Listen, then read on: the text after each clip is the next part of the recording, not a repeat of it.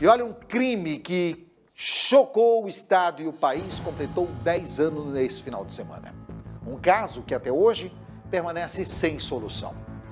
Quem não se lembra do caso da pequena Beatriz? Beatriz Pacheco, a menina que foi violentada e morta no dia 18 de junho de 2012, quando tinha apenas 11 anos. Muitas perguntas até hoje foram feitas sobre o paradeiro do assassino. Hoje conversei com o delegado responsável pelas investigações. J. Júnior está comigo?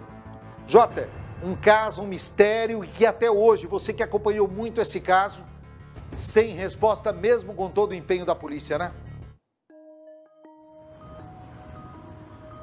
Pois é, dez anos se passaram, centenas de suspeitos investigados e ninguém sabe quem é o autor desse bárbaro crime, quem foi esse maníaco, quem foi esse covarde, né, esse bandido que cometeu uma atrocidade como essa contra a jovem Beatriz. Uma criança na época, né, tinha 11 anos de idade.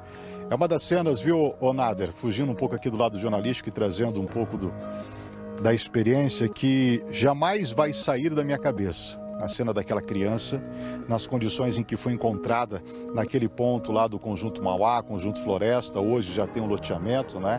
É, Mudou-se bastante coisa.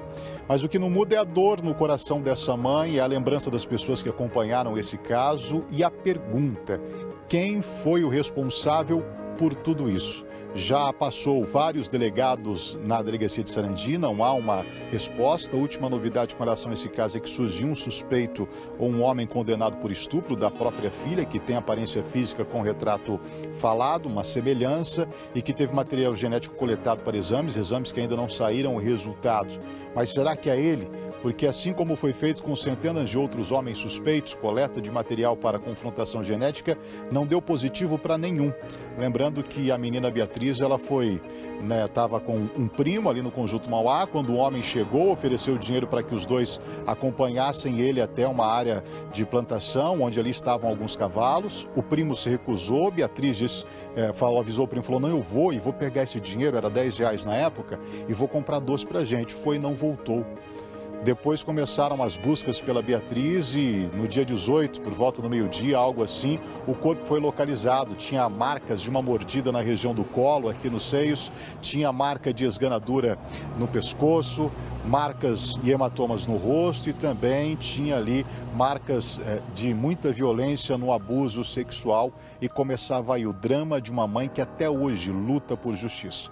Você esteve na delegacia, conversou inclusive com o doutor Adriano e a gente separou aqui no programa um trecho dessa conversa do Nader com o doutor Adriano, justamente sobre esse caso que completou agora 10 anos.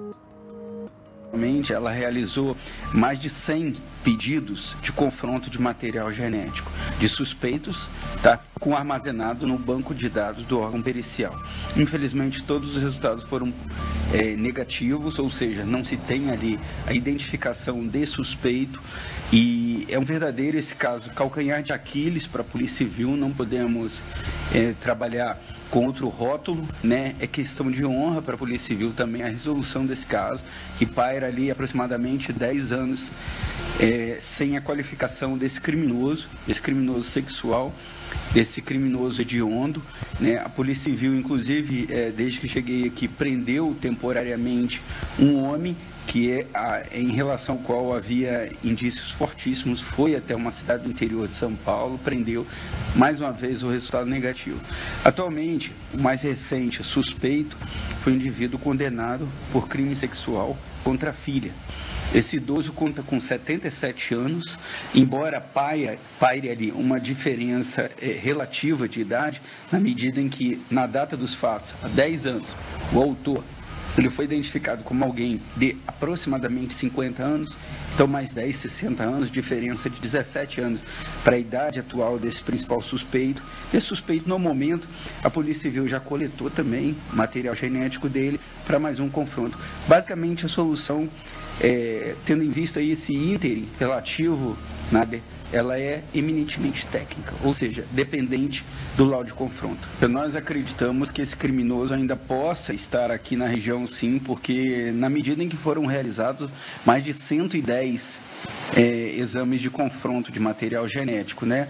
Então ele é particularmente, ele tinha uma atividade e sempre que a gente relembra o caso vem à tona, era do meio rural, era uma pessoa simples, a compleição física ali, relativamente calva, essa pessoa, 10 anos atrás, de cor, a pele branca.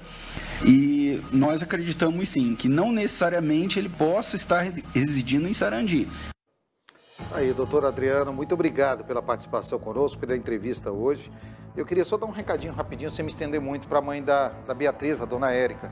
Dona Érica, quero dizer para a senhora, como pai de menina, até falei isso com Salsicha hoje, né? Como é diferente quando a gente é pai e em situação que envolve menina, então, parece que o coração da gente ele acaba apertando ainda mais.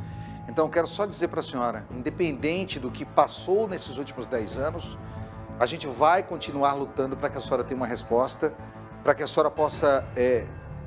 Eu sei que é difícil, né? Não apagar o passado, mas pelo menos poder descansar o coração da senhora. E eu, como pai, prometo à senhora, o tempo em que eu estiver aqui à frente do Cidade Alerta, trabalhando mesmo, ou até como repórter, junto no Balanço Geral com Salsicha, a gente não vai esquecer e não vai deixar que a polícia, que a justiça, que a população esqueça o caso da sua filha, tá bom? Nós vamos tentar e buscar de todas as formas encontrar quem fez isso com ela. Pode ter aqui no Cidade Alerta e na RIC TV um canal sempre para pedir ajuda e para contar quando a senhora sempre precisar, tá bom? Um beijo no coração da senhora e que a senhora possa superar essa difícil perda e falta de respostas, como foi nos últimos 10 anos.